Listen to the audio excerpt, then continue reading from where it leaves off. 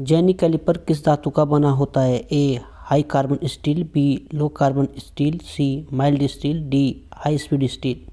आपका सही जवाब हो जाएगा option number C, mild steel.